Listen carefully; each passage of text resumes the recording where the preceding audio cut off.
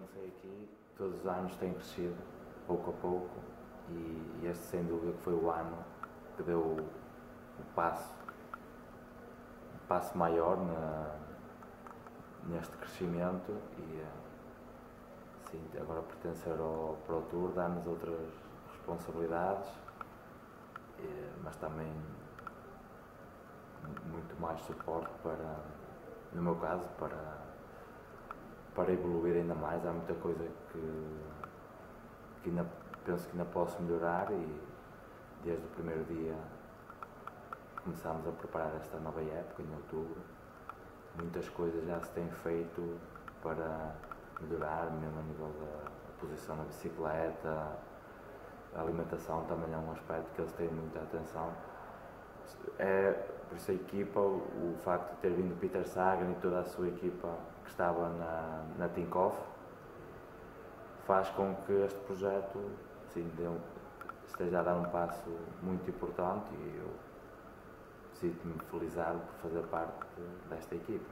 O meu calendário, a priori, se tudo correr normal, passará pelo giro e sim estarei com, com o Leopoldo, mas penso que algumas provas antes também terei a oportunidade de estar com o Rafa, por isso vou, vou ter a oportunidade de trabalhar com, com ambos e um, a minha prioridade é estar numa boa condição e poder ajudá-los. Se entretanto surgir oportunidades de lutar por alguma classificação, o calendário é tão vasto, tentarei aproveitar, mas a minha maior prioridade é fazer o que a equipa me pede e corresponder.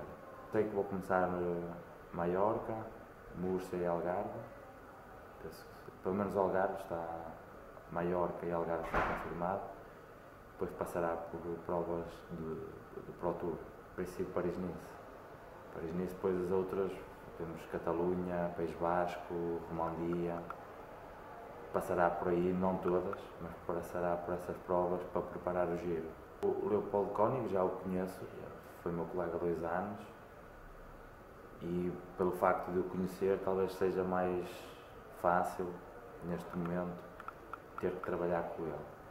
Mas o Rafa, pelo que tenho, pelo que temos passado, aliás, eh, estamos no mesmo grupo de treino, temos passado algum tempo juntos estou a gostar muito da, da maneira dele estar, da personalidade e sim, também gostaria muito de poder trabalhar com ele e, e conseguir bons resultados juntos. Sei que neste momento a hipótese, porque não há nada que esteja definido, não é? Pode haver muitas mudanças, mas aí, o que está, digamos, mais ou menos planeado é eh, a preparação com a direção ao giro e aí sim, se tudo correr bem, será com o Leopoldo Coni. O caminho até lá, terei várias provas em que com certeza umas será com o Leopoldo Coni, outras com o Rafa,